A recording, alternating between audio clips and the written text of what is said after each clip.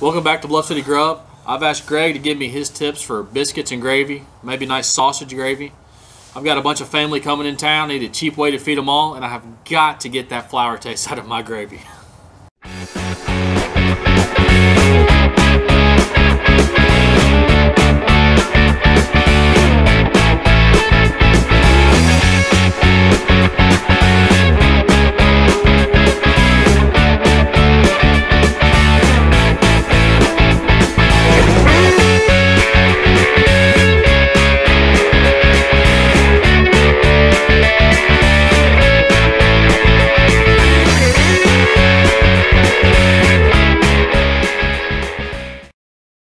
Greg, you got anything for that?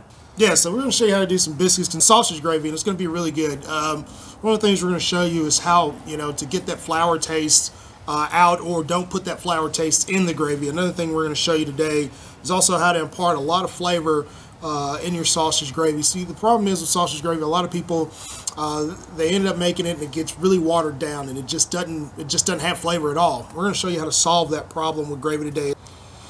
I tell you what, Greg, you talk about watering it down, and that's something I commonly do. And the first thing I do to thicken it up is just toss a little more flour in there. That's absolutely a mistake. You don't want to do that. You can actually, you know, add more water and more water to it, and that's probably one of the best things you can do if you mess up. But you don't want to add more flour. Greg, how you feel about lumpy gravy? Nobody likes lumpy gravy. All right, we're going to start out with our pan, get it nice and piping hot. And we have our heat here on medium high, which is perfect. Going to start out with a little bit of butter.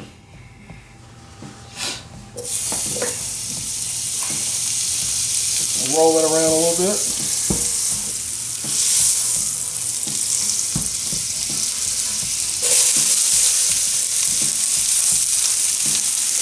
And dump some onion in there as well. Small to medium onion.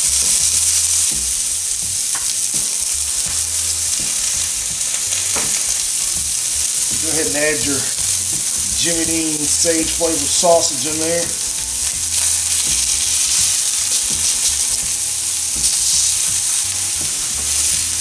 You're gonna get your sausage broken up really good. We're just gonna toss it up and let it cook for a few minutes. All right, so we got sausage all nice and browned up here. It's looking good. Uh, what we're gonna do is we're gonna throw a little bit of butter in the pan. And this is gonna be the beginnings of making our roux. Let that melt down a little bit. And see the meat and the onions are already hot, so it helps the butter disintegrate a little bit faster. We go ahead and dump our flour in there. Now the whole reason we're dumping our flour in here right now is because everything's really hot. And we're going to stir it up and it's going to cook really fast. It's going to help the flour cook through really good. You notice your pan's starting to get a little bit dry here. It's okay. This is definitely going to make sure your flour has definitely ample enough time to, you know, cook all that flour taste out of it.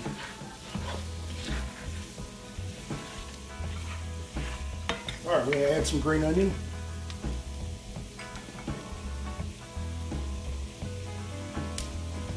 And then some fresh herbs in there as well. We got rosemary and a little bit of thyme.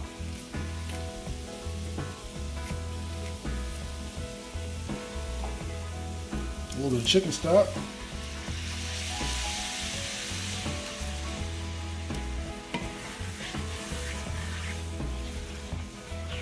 And then we're going to stir vigorously until it thickens up. All right, now we're going to add a little bit of water to it.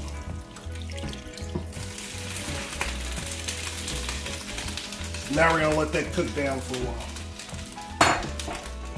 All right, so uh, uh, gravy's been simmering for about, I don't know, seven to 10 minutes now. And as you can see, it's not as thin as what it was when we put water in there, but it's still, you know, a little bit on the thin side. So what we're gonna do is we're gonna add a little bit of cream to it. Don't worry, I'll have the uh, recipe below.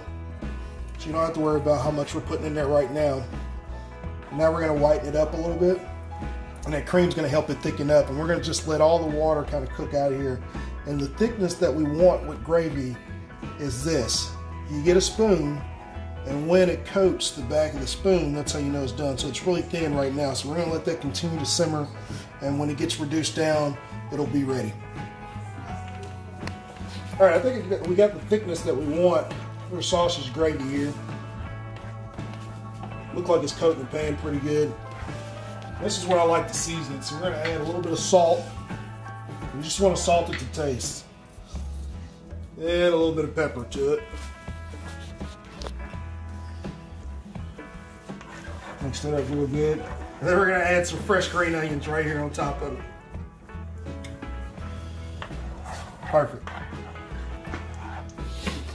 All right, so we got some uh, some biscuits here. These are just your basic biscuits, uh, Grands from the grocery store. You don't have to go anything special there.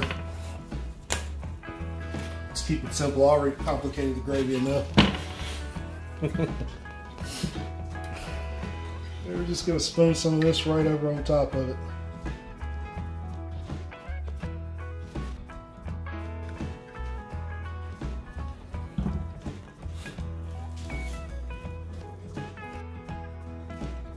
Oh, look at that.